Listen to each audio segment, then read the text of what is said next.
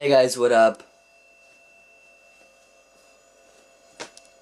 Hey guys, what up? Geeksohrab here. Today I'm gonna show you how you can get into someone's phone, just hack the phone, um, take the whole system out of it and go to the fabric settings or the factory settings. This is pretty easy guys. So I just bought two phones, so uh, S3 and uh, other one. So the S3 has a broken screen, but I bought them for very cheap and they had a passcode on them and I, I won't see that guy ever again I guess.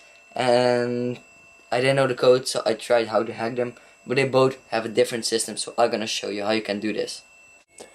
Well okay guys so let's start with the both phones. So um, the easiest one is the S3 because it runs another kind of Android.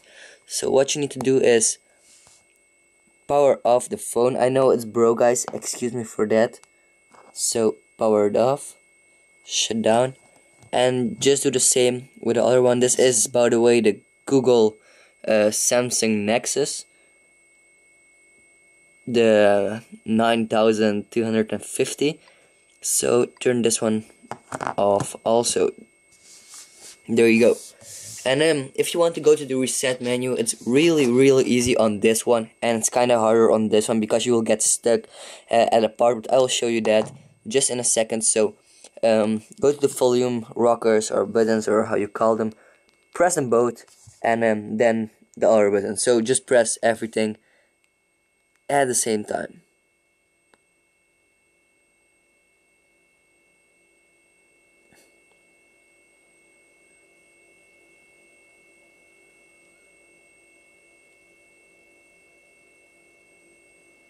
Okay, well, this phone is restarting. I'm not sure if this will work on this one.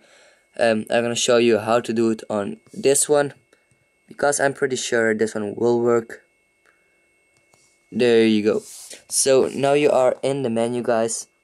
See, and um, it says start. So uh, usually you'll get only this menu, but now not. You can use the volume buttons to go up and down. Just go to recovery mode and then press um, the out button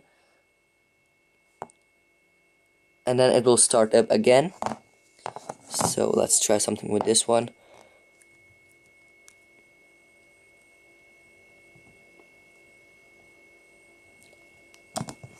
I'm not sure about how to um, put this one in it exactly but you need or this button or this button and then you will get to the menu I'm gonna show you right now guys. So what you need to do to go to the menu so this is what it says nothing else.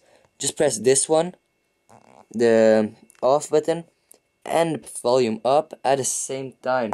And while you're doing this you will get into the menu of the phone.